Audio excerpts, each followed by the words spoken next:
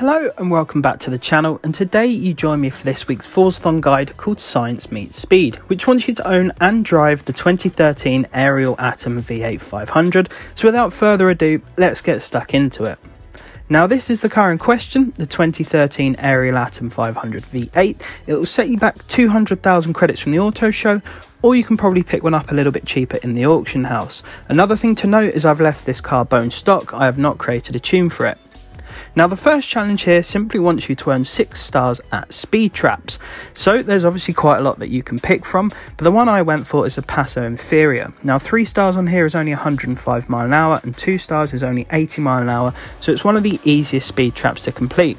Now, I know what you're thinking, this is a lightweight rear engine sort of rear wheel drive car uh, so it might struggle on the dirt roads, but as you can see here, it's not too difficult. So I got three stars on two runs and two stars on that second that return run there. But all in all, it only took me about 35, 40 seconds to complete. Uh, so it's a nice, easy challenge there.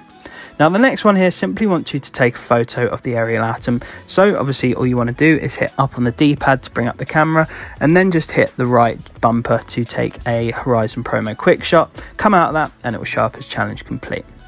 For the final challenge here, it literally wants you to win a road race. So to do this, I headed over to the Arch of Muliege circuit, which I found out is actually called the Arch of Mulegé. But anyway, um, I've created a race here called Forzathon Easy. The share code's on your screen there. So it's literally one lap with no AI Drivatars. You're guaranteed a win. It will literally take you about a minute to complete, so it's super easy. And of course, with there being no AI Drivatars, you don't have to worry about anyone else on the track. So you're always going to be guaranteed a win. But you only have to do it once for this challenge. So nice and simple there. And that is this week's Forzathon complete.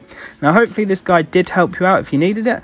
Um, if it did and you're new to the channel, I'd very much appreciate if you could subscribe. And of course dropping a like massively helps me out. And if you're struggling with anything, then please do let me know down below in the comments. I'm more than happy to help you guys out. But apart from that folks, I want to thank you very much for watching. I want to wish you all the best. Make sure you stay safe and take care.